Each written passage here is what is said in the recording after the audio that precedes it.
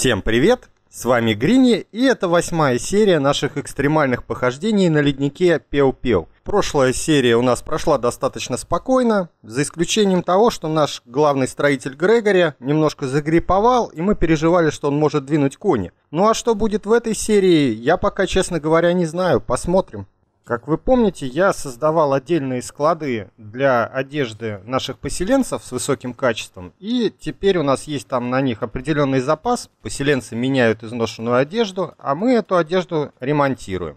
Но процесс это долгий, и поэтому давайте поставим маленький ящик с инструментами. Он сразу действует на все вот эти станки и ускоряет скорость работы за этими станками. На каждый станок может действовать два таких э, ящика с инструментами. Он не очень дешевый в производстве, но он того стоит. Давайте сразу рядышком два и поставим. Пускай сразу действует вот на три верстака, которые касаются здесь текстиля. Вообще я здесь, конечно, тупанул. И станки у меня изготовлены из стали, а это всего 80% скорости работы. Надо было делать их из чугуна или самый лучший вариант из алюминия. Но тогда, когда я снимал это видео, я еще об этом просто не знал. И давайте, наконец, замутим отдельные апартаменты для нашего главного ремесленника, как раз рядышком с мастерской. Пускай здесь у нас будет жить Чиф, а то бедняга живет на данный момент в медблоке и думает, что это его комната. А там ведь, небось, и лекарствами пахнет, и шприцы валяются, блин. Нариком станет еще случайно. Так что пускай живет отдельно в этих апартаментах. Нам не жалко, гора большая. Да, и кстати, вот что я еще забыл, в ремонтном станке, как и во многих других, есть параметр э, регулировки радиуса, на котором он будет искать вещи для ремонта, ну а в производственных станках для производства. В общем, выставляете этот радиус обязательно, чтобы он не искал вещи черт знает где. Нам надо, чтобы он ремонтировал только вот здесь вот хранящиеся вещи э, с хорошим качеством. Правда, конечно, справа выше он пересекается со складом, где все другое шматье лежит, но это мы потом поправим, этот склад мы перенесем. Грегори допиливает полы, сейчас еще стеночки поставит, и скоро можно будет нашего чифа заселять в новую комнату. Апартаменты. Сейчас мы его еще кроваткой порадуем нормальной. Я думаю, из шкуры муфла самое то будет. Там 130 по минимуму идет э, к отдыху. А если хороший строитель, то и все 160 получается. Все, допиливаем кроватку. И давайте назначаем сюда наконец-то Чифа.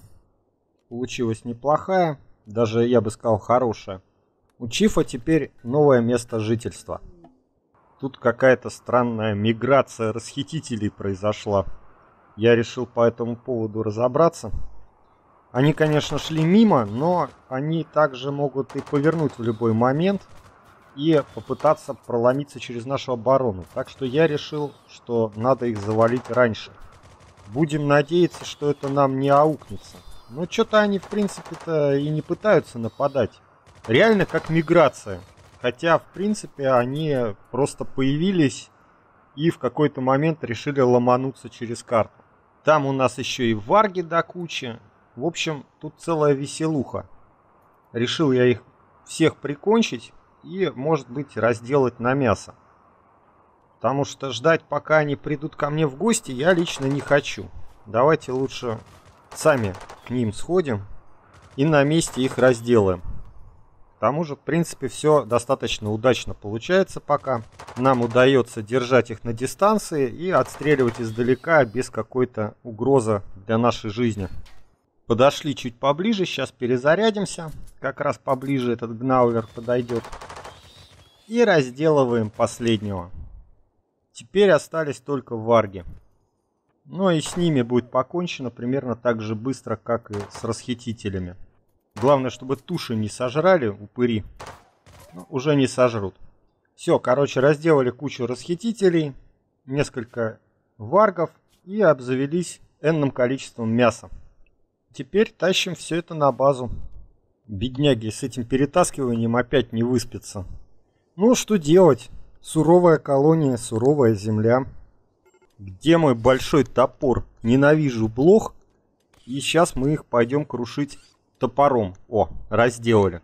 Просто блох реально вот уничтожать руками иногда опаснее, чем с автоматом против Гнаулера выходить. Видимо, в этой серии Рэй решила нас завалить с помощью маленьких и мерзких созданий, а не посылать на нас какие-то серьезные рейды и не устраивать нам какое-то мясо. Ну, в принципе, я и не против. Нужно время, чтобы чуть-чуть развиться. И коли у нас это время есть, давайте приступим к строительству оборонительных сооружений. Выставим здесь стену, организуем такие бойницы, примерно через каждые три клеточки. Так, теперь закроем это дело амбразурами. Таким образом. И теперь давайте с другой стороны поставим стену, тоже поставим двери, такой коридорчик получится. И сделаем внутренний дворик, то есть зону без крыши. Вот как-то так. И теперь приступим к реализации всего этого дела, так сказать, в камне. Ну, точнее, и в камне, и в металле, и во всем остальном. Это процесс тоже ни разу не быстрый, так что придется подождать. Но я надеюсь, что это того стоит, и это позволит нам избавиться от массы проблем.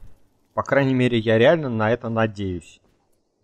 В частности, от долбанных диверсантов, которые прутся постоянно не с той стороны, с которой надо – приходится постоянно обходить их там с тыла, с фланга и так далее. А теперь у нас будет одна линия обороны и... Так, здрасте, приехали. Атака.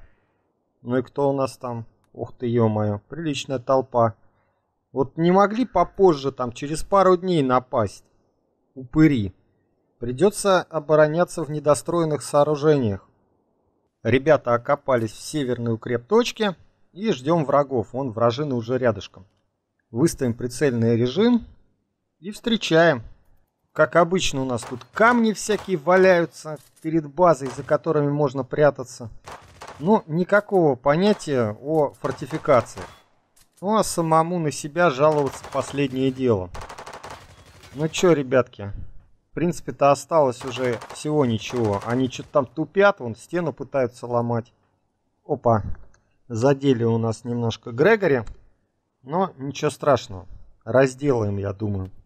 Так, что за пожар? Я не понял.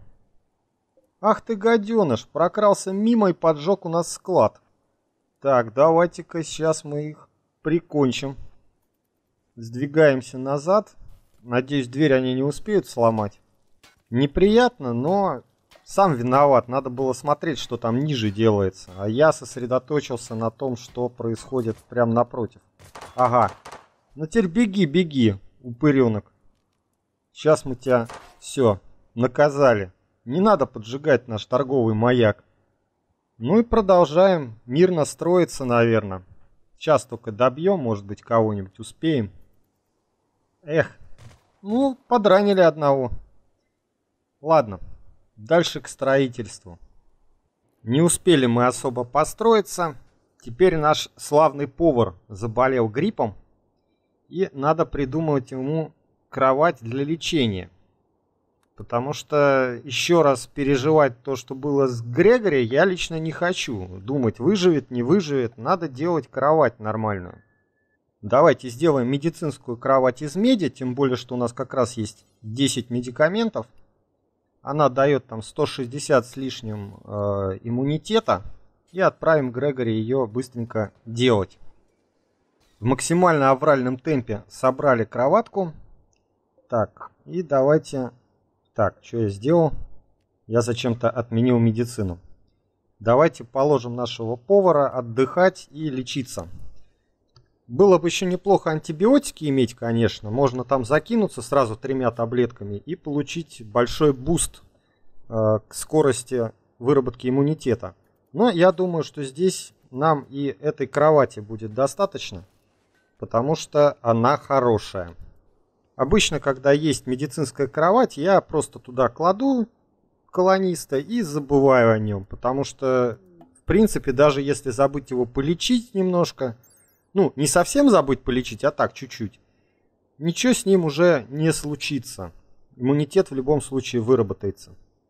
Ну и, кстати, между делом, в последнем рейде мы захватили одного вражину, и сейчас давайте улучшим ему немножечко условия жизни, чтобы он поскорее завербовался. Давайте поставим ему сюда освещение, точнее ей. И я думаю, что она будет этому рада. Во всяком случае, она сможет увидеть лицо того, кто его, кто ее вербует. А то мало ли, в темноте такой заходит, слышь, ты не хочешь стать нашей колонисткой? Нет, не хочешь? Ну ладно. И уходит. А тут хотя бы сразу видно, нормальные люди предлагают пожить в хорошей колонии.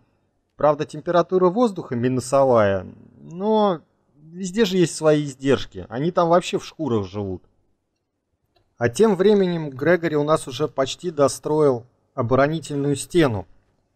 И это замечательно. Наконец-то мы сможем встречать вражеские рейды уже не просто в чистом поле там или постреливая с какого-то уголка, а нормальной линии обороны. Не Маннергейма, конечно, дотов нету, но тоже неплохо. Так, что у нас тут? Минус 128, да, на улице уже минус 130. Печалька. Интересно, а как там Инга себя чувствует? Ну, та, которую мы вербуем. Ей светло, но морозно, наверное. Будем надеяться не скопытиться. Пока вроде нормально себя чувствует, так же как и наш больной гриппом. Давайте, кстати, пролечим. Ну что, нормально идет набор иммунитета, так что ничего с ней не случится. Значит, можно спокойно укладываться спать. Опаньки, вот это поворот. Походу, док сделал не очень приятный укол нашему повару, и повар взбесился, пошел мстить доку. И вот прямо сейчас пытается кулаками доказать доку, что уколы ему больше не нужны. Придется усмирять пациента вдвоем. Тут главное палку не перегнуть и не отправить пациента в морг. А то доктор сказал в морг, значит в морг. Не, все нормально. Пациент выживет. Медицина, да, она такая. Что-то у нас тут совсем похолодало, поэтому давайте-ка в хоппер наших печей положим уголь и опять их запустим. Может хоть чуть-чуть потеплеет. Потому что в доме уже минус 128, а на улице минус 130. Жесть. Сосульки на носу, блин, при любом насморке появится. Меня во всем этом больше всего напрягает Инга, которая нам бы очень сильно пригодилась. Так что если она помрет от мороза, будет обидно. Нам надо увеличивать количество колонистов, потому что в противном случае с увеличением стоимости колонии мы просто банально не сможем отбиться от врагов, которые на нас будут сыпаться.